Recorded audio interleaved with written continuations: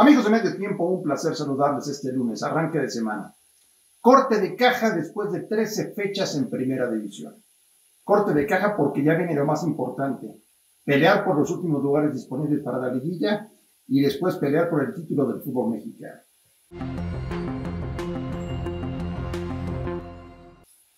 América muy bien, muy bien. Se ha llevado el torneo jugando entre titulares y suplentes y saca adelante los partidos.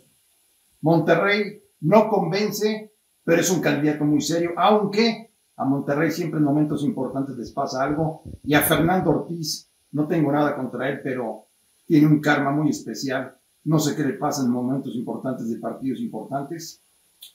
Después está el Toluca. Poco hemos hablado del Toluca. ¿eh? Tiene un gran plantel, tiene un buen técnico como Renato Paiva.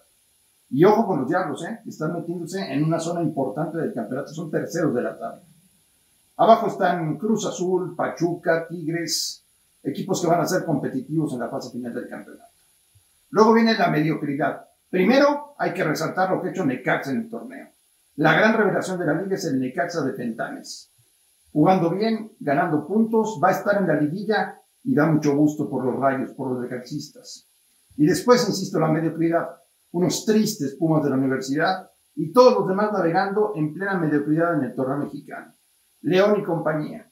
Y hasta abajo, ya saben ustedes, Juárez y Puebla.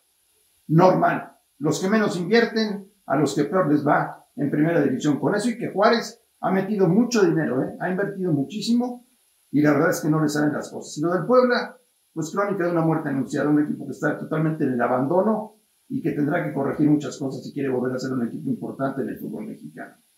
Corte de caja, amigos de medio tiempo, después de 13 fechas. Viene lo más importante, lo más atractivo. Viene la liguilla, ya solamente faltan cuatro jornadas. Soy André Marín, un fuerte abrazo y estamos en contacto.